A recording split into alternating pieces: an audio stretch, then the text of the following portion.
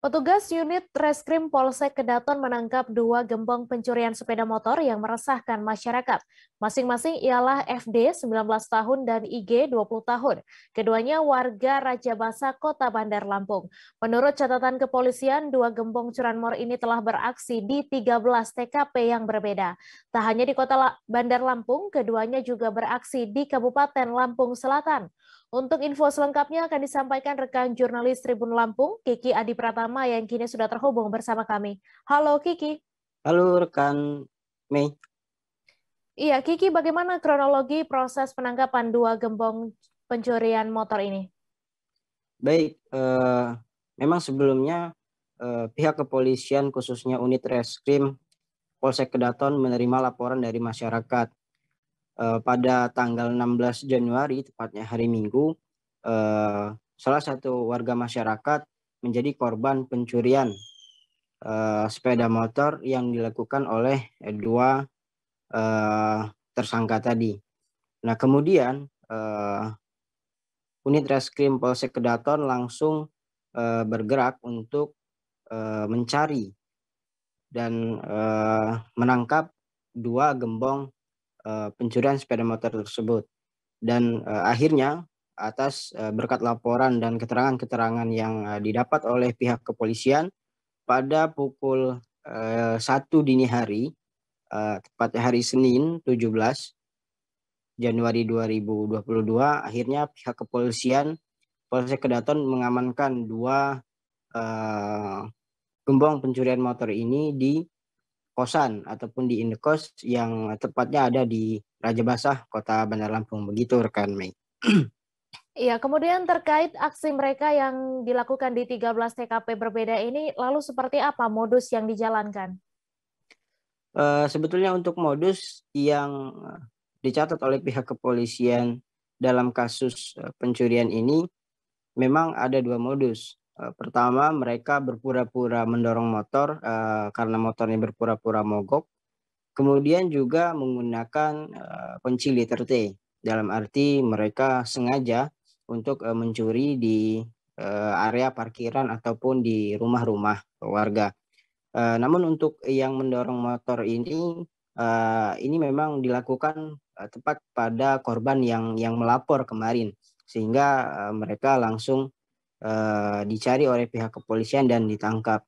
Modusnya mendorong motor itu berpura-pura agar mendapat belas kasihan dari uh, calon korban. Kemudian setelah korban uh, membantu, namun justru malah uh, ditodong menggunakan senjata tajam dan akhirnya motornya pun di dibawa dibawa kabur oleh dua pencuri tersebut begitu rekan Mei.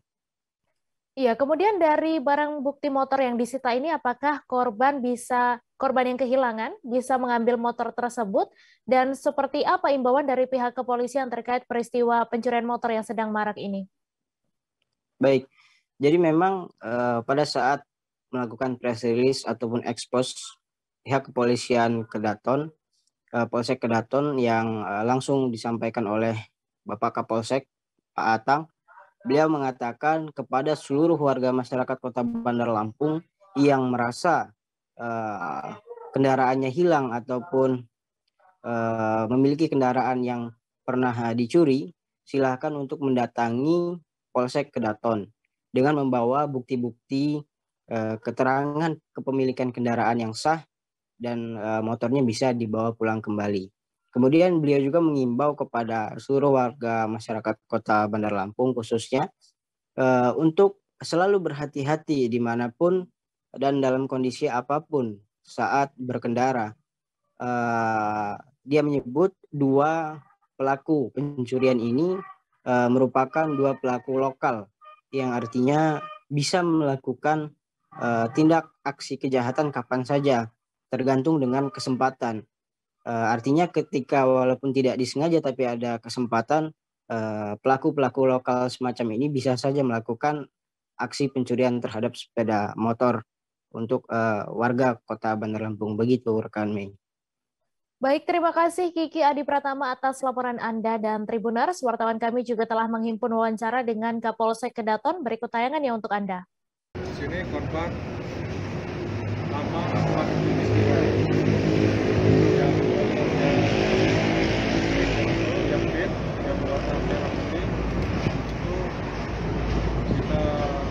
itu korban curas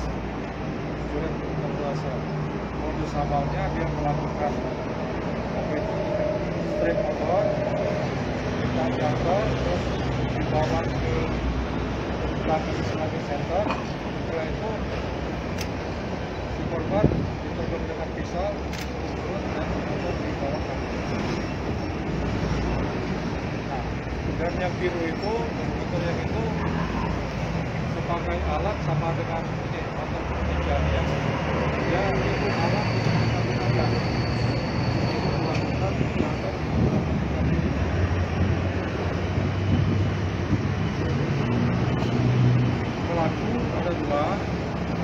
dan kita lihat yaitu inisial F dan I nah barang bukti yang kita dapatkan nah ini di Terima kasih sudah nonton. Jangan lupa like, subscribe, dan share ya.